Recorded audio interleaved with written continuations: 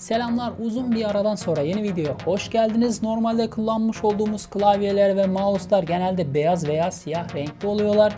Daha doğrusu piyasada satılan klavye ve mouse'lar beyaz veya siyah renkli oluyorlar.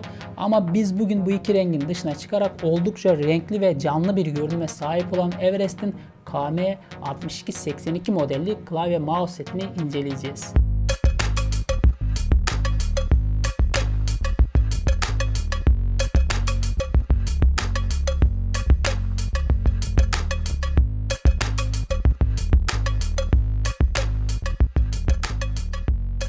Kutusunun ön yüzeyine baktığımızda 4 farklı renk seçeneğinin olduğunu görüyoruz. Turkuaz, yeşil, mor ve kırmızı olarak tabii ki sade renklerde değil. Yine tuşlar üzerine ve klavyenin farklı ve mouse'un yine farklı bölgelerine farklı renklerde serpiştirilmiş oldukça canlı ve renkli olduğunu söyleyebilirim bu setin. Bu zamana kadar hep siyah inceledik, beyaz inceledik. Bugün de böyle farklı güzel rengarenk bir klavye mouse setini inceleyeceğiz.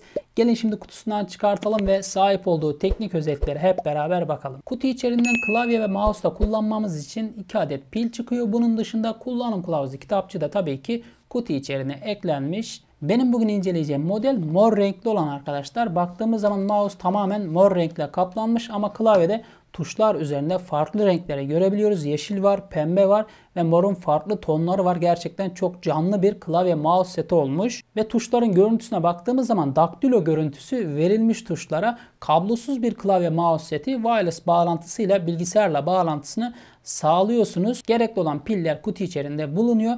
Membran switch kullanılmış klavyede ve oldukça sessiz olduğunu söyleyebilirim.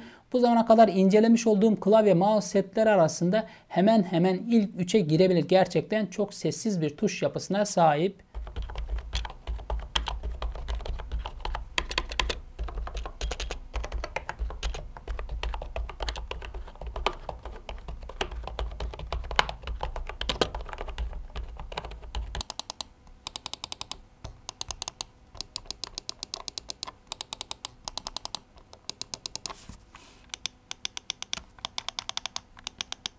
Ve oldukça yumuşak bir tuş yapısına sahip. Çok fazla baskı uygulamanıza gerek yok. Hemen tepkiyi alıyorsunuz tuşlardan. Yani çok fazla parmaklarınızı yoracak bir tuş takımı değil. Ön yüzeye baktığımız zaman F1'den F12'ye kadar yardımcı multimedya tuşlarını görüyoruz ki bunlar artık klavyelerde sıklıkla gördüğümüz özellikler. Buradan ses kontrolünü veya multimedya kontrolünü sağlayabilirsiniz. Enter noktasına baktığımız zaman küçük enter kullanılmış. Büyük enter olmasını tercih ederdim. Burada boşluk tuşunda Everest yazısını görüyoruz ve tuşların alt kısmındaki plastik tabaka parlak bir yüzeye sahip. Diğer kısımlar matken bu noktada parlak plastik yüzey kullanılmış. Bu da şıklık anlamında klavyeye gerçekten güzel bir görüntü katmış. Rengarenk tuş yapısından zaten bahsetmeme gerek yok. Sizler de görüyorsunuz oldukça renkli ve canlı olduğunu söyleyebilirim. Tuşlarda lazer baskı söz konusu değil. Sonradan üzerine baskı yapılmış. Keşke lazer baskılı olsaydı. Böylelikle silinme olayı da en azından kafamızda olmazdı. Silinir mi silinmez mi noktasında